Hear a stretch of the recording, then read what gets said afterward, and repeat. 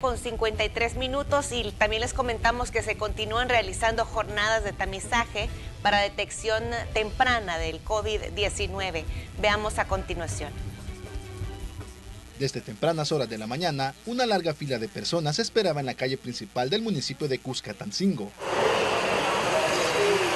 ya que el Ministerio de Salud realizaría un tamizaje comunitario para detectar posibles casos de COVID-19.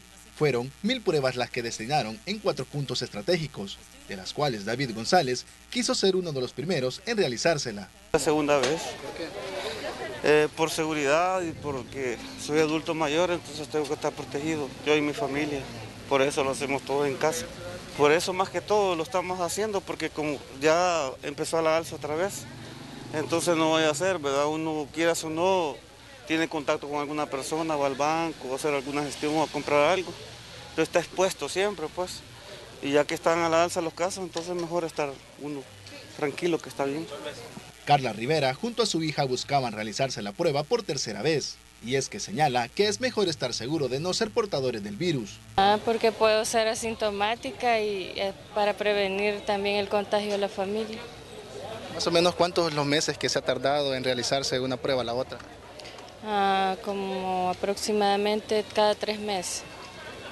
Amadeo Santos llegó desde la zona oriental del país, ya que debido a su trabajo tiene contacto con muchas personas y quería descartar las dudas realizándose la prueba. Es necesario para salir de, de la duda. ¿Ha estado en contacto con algún eh, paciente? Pues, como acordate que hay este, asintomáticos y siempre es necesario hacerse la prueba. Los resultados se darán a conocer a la población en 48 horas por medio de una llamada telefónica.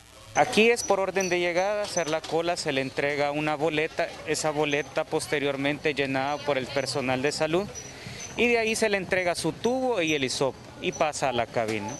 Eh, entre dos días se le habla por teléfono, se le da su resultado, ya sea positivo o negativo, se le explica en que el diagnóstico, ¿verdad? Se le dan recomendaciones y en caso de ser positivo se coordina para la entrega de medicamento y posteriormente se le da un seguimiento diario. El municipio de Cuscatancingo a la fecha contabiliza 400 casos locales detectados. Estos tamizajes comunitarios les ayuda a las autoridades de salud a detectar casos y evitar que el virus se siga propagando.